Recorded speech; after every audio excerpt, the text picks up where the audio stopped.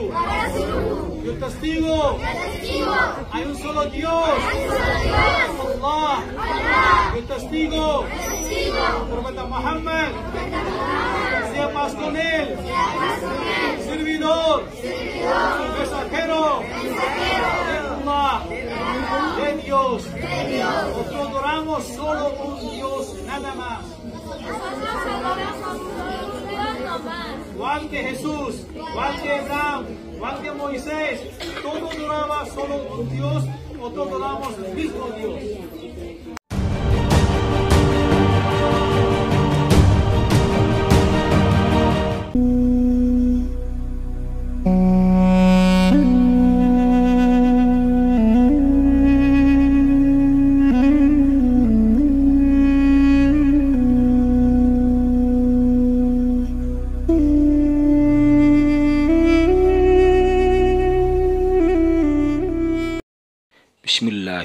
Bismillahirrahmanirrahim.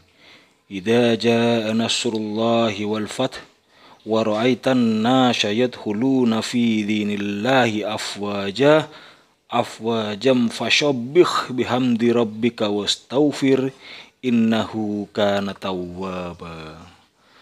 Subhanallah, alhamdulillah, la ilaha illallah, hu Allahu akbar, astaghfirullahil azim telah berbondong-bondong lagi umat manusia di Meksiko ya di mana puluhan keluarga bersyahadat syahadat masal yang dibimbing oleh Ustadz Pafes.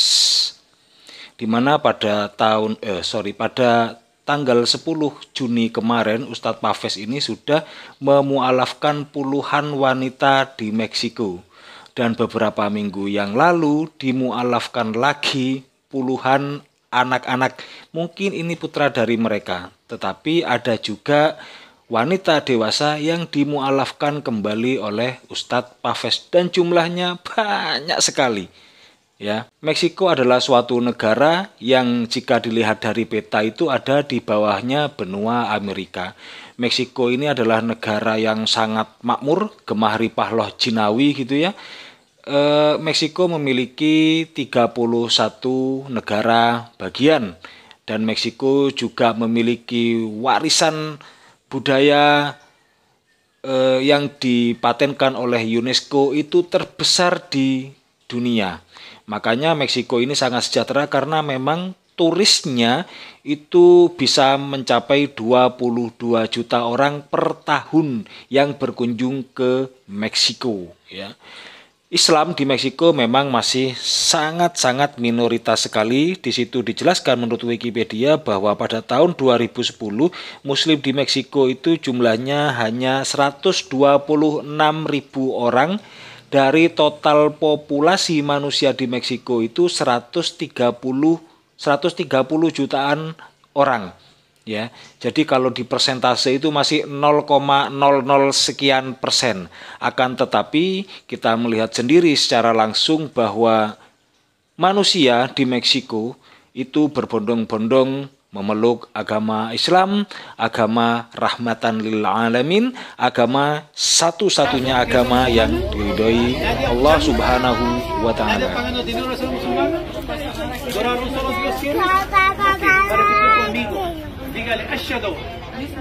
la ilaha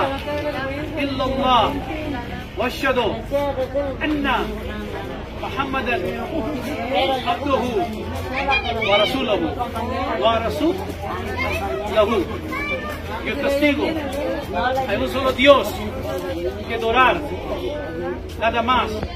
Yo yo testigo profeta Muhammad profeta Muhammad sea paz con él, servidor, el mensajero de Allah, de Dios, nada más. Día de hoy es Allahu Akbar. Allahu Akbar. ¿Usted que es musulmana? Usted es musulmana. ¿No quiere repetir? ¿Quiere adorar a un solo Dios? ¿Sí? Ok, decide contigo. Dígale, Ashadu. Eh, Allah. Ilaha. Illallah. Washadu. Anna. Muhammadan. Abduhu. Wa Rasuluhu. Yo, yo castigo. Solo, solo, eh, adorar a un solo Dios. Dios. Allah último profeta. Paz con él. Servidor mensajero de Allah. Musulman ¿ok?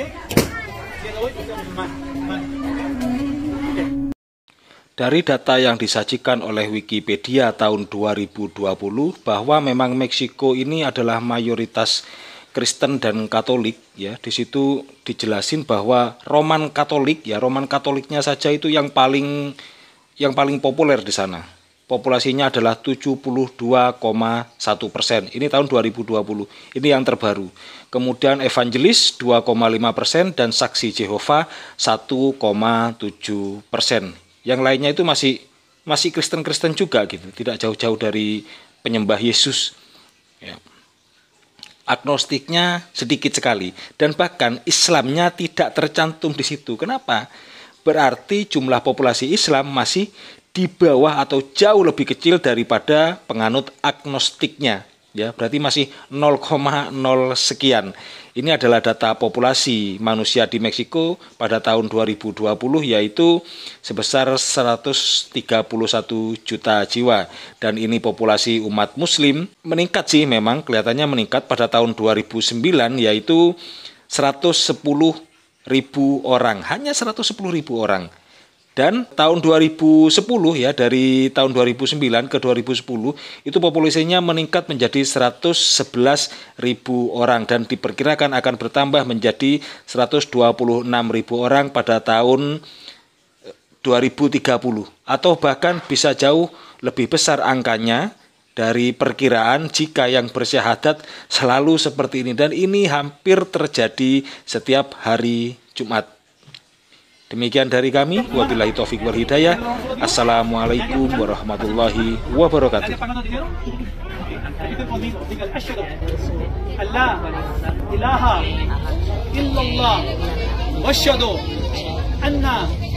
Muhammadan abduhu wa rasuluhu wa testigo hay solo un Dios Allah yo testigo Muhammad Muhammad más con él, el servidor, el mensajero de Allah. تكبير تكبير الله اكبر تكبير الله اكبر الله اكبر قال اشهد ان لا اله الا الله واشهد ان محمدا عبده ورسوله Hay un solo Dios, Allah. Yo testigo, profeta Muhammad, más con él, servidor, mensajero de Allah. Día de hoy, usted musulmán, musulmana, bienvenido en Islam. Usted no va a perder Jesús, no va a perder nadie. Usted va a ganar todo en ellos, va a adorar.